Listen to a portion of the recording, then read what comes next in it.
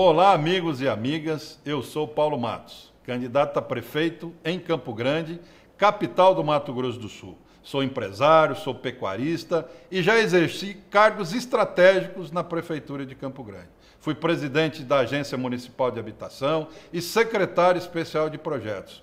Construí mais de 12 mil casas Cuidei do PAC Mobilidade, liderei negociações com o governo federal, governo estadual e organismos internacionais, trazendo verbas para a nossa capital.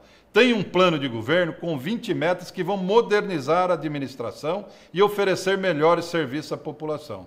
Vamos construir o hospital municipal e promover uma ampla reforma administrativa. Estou preparado para realizar a melhor e mais dinâmica administração para Campo Grande, a capital de Mato Grosso do Sul. Thank you.